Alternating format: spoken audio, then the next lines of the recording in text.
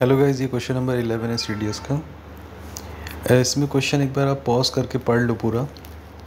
I hope आपने पढ़ा होगा question if the equation x cos theta is equal to x square plus p has a real solution for every theta theta zero से pi by four then which of the following is correct तो इस question को हमें solve करना है। Question ये करे कि जो इक्वेशन है, अगर इसके रियल सोल्यूशन है, ठीक है? तो कैसे सॉल्व होगा, देखते हैं। आपको इक्वेशन पढ़ के क्या लग रहा है? एक्स स्क्वायर है मतलब ये क्वाड्रेटिक इक्वेशन है। अब देखो, यहाँ पर कुछ चीज़ें ऐसी हैं कि आपको ना दो कॉन्सेप्ट लगेंगे। पहले मैं आपको समझा देता हूँ। X cos theta is equal to x square plus p है।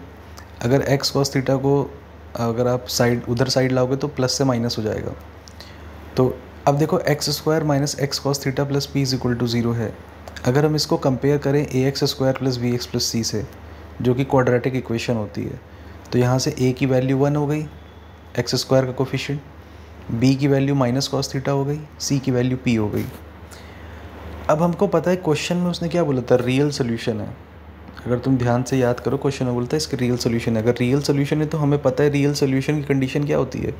B square minus four a c is greater than equal to zero ठीक है? अब अगर हम b की वैल्यू रख दें माइनस कॉस थीटा तो माइनस कॉस थीटा का स्क्वायर कॉस स्क्वायर थीटा और a की वैल्यू वन रख दो, c की वैल्यू p रख दो तो cos square theta minus four p greater than equal to zero आ जाएगा। ठीक है? अब यहाँ से देखो माइनस फोर पी उधर जाके प्लस हो जाएगा।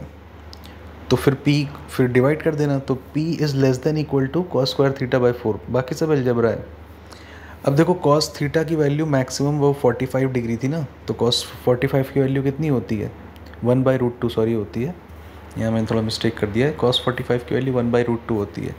स्क्वायर में रखोगे तो one one by root two का स्क्वायर वन बाई टू हो जाएगा। ये वन बाई रूट टू है, ठीक है? यहाँ पे एक बार सही कर लेते हैं। वन बाई रूट टू अगर तुम कॉस 45 का स्क्वायर करोगे तो वन बाई टू हो जाएगा। रूट रूट हट जाएगा तो वन बाई टू और डिवाइडेड बाई फोर ऑलरेडी है तो वन बाई एट ठीक है?